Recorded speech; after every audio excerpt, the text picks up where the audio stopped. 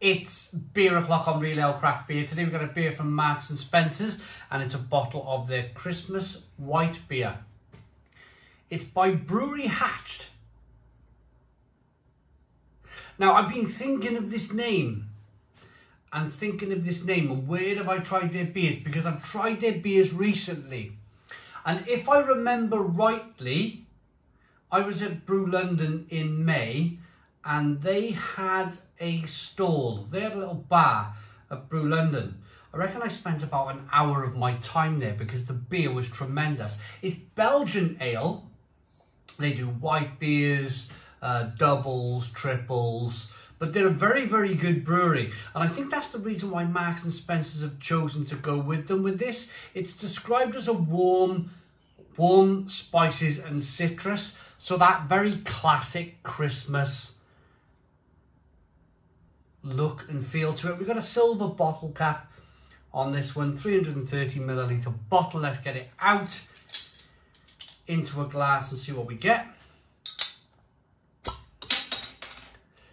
Carrying on my theme with getting the price as close as to right as I possibly can, bearing in mind I only bought this beer yesterday, um, I'm terrible for not looking at the prices on the on the store shelves, but I believe this was about two pounds a bottle as of 2022. Now, I reviewed Marks and Spencer's Christmas beers from 2021 just last year. It feels like yesterday, it really does. Uh, but this is a new one. This is a beer that's been launched for 2022. Um, I'm dead excited to really get into this because I'm a big fan of Belgian ale a Belgian craft beer.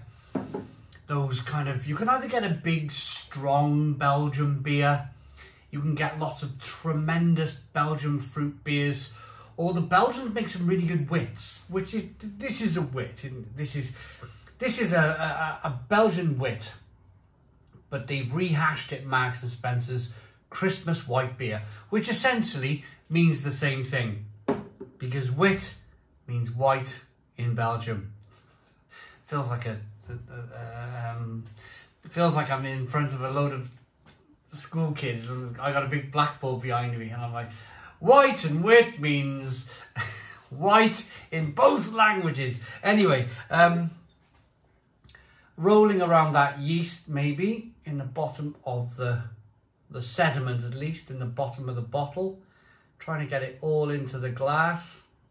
A lot of the flavour of the beer being unfiltered will have made its way to the bottom of the bottle. So it's very important to get that last inch swirled round in your bottle and get it into your beer.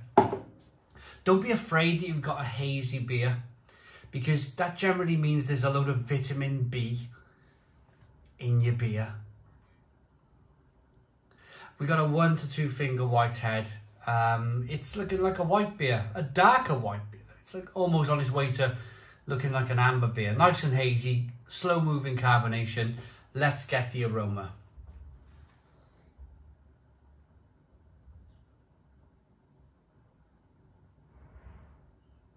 Spicy, peppery, citrusy, very Christmas-like.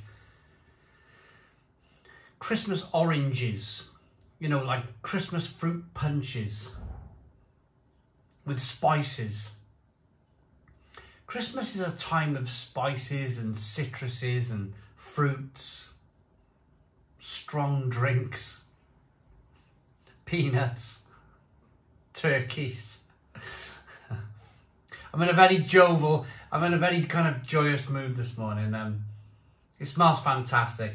Let's dive in. Cheers, everybody.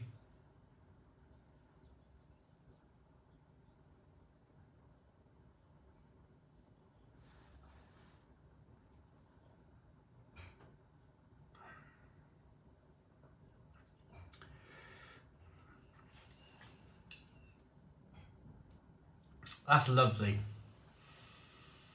That is absolutely lovely. Now I've just, oh, I've still got the beer behind, I'm not even taking it away. I've just finished reviewing uh, Lord's Brewing Company's wonderful Weiss beer. In fact, I should have taken the previous beer review away. Um, I was so happy with the beer that I think I just left it all there. for people to see. But um, after reviewing a Weiss beer, getting into this kind of Christmas white beer from Marks and Spencer's, you can be excused for thinking that this beer may be forked off in terms of the Germans brewed something with bananas and clove and spices and the Belgians brewed something with maybe orange peel and citrus and spices. So it's a very kind of like similar beer style. I don't mind holding the two beers up. If you look, they're both hazy. Weiss beer, Weiss beer glass, wit beer in an IPA glass. But they're very similar in the haze, slightly different colours, but they both got them lovely white heads on, on, on the beer. So you can you can imagine that um, the Europeans, of course, travelled and, and especially brewers. Brewers would always travel and they would get ideas from other breweries. So the Germans probably had this idea of brew, producing tremendous vi, Weiss beers, um, which it means white anyway. Weiss in German is, is, is, is white. So it all kind of means the same thing. Wit, white beer, Weiss beer.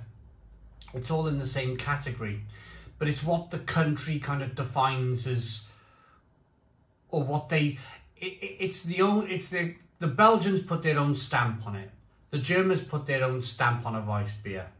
They're the similar kind of looks to the beer, but with slightly different appeals for different countries. Their own personal stamp on a product. It's lovely. It really is lovely. It's very drinkable. Reminds me of Christmas. I could drink it all year round, not necessarily. Um, of course, Marks and Spencer's are going to brand something differently. They're going to, if they got the opportunity to call something Christmas around Christmas time, they're probably going to do it. White Christmas sounds very clever, sounds very good, but you can drink wit beer, white beer all year round. It doesn't have to necessarily be at Christmas. It's just that Marks and Spencer decided to label this one as a Christmas beer. I imagine if you bought this beer in March, it would be called Belgian white beer rather than Christmas white beer. But I mean, good on Marks and Spencer's for for producing something different really. I mean, if you went into Tesco, Morrison's, Sainsbury's, You've got that same old,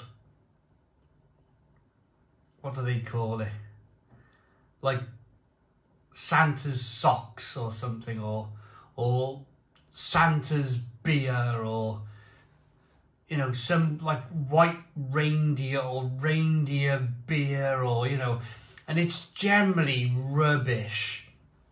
It's generally kind of like, oh, uh, another brown, boring snowball Christmas ale that's just an ale which happens to be have a Christmas label on the front.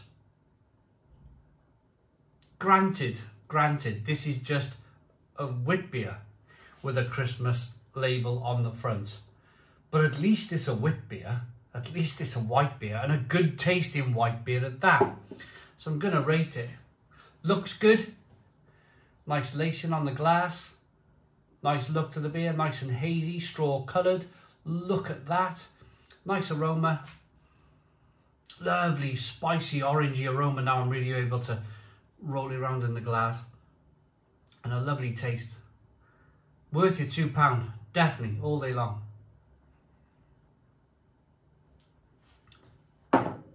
A lovely beer that really shouldn't be reserved just for Christmas. Um, I like it enough to give it a Stone the Crows 9 out of 10. So 9 out of 10 from Real Ale Craft Beer. Please put your comments in the comments box, subscribe to our daily beer and food reviews, give us a big fat thumbs up. Boom! Cheers!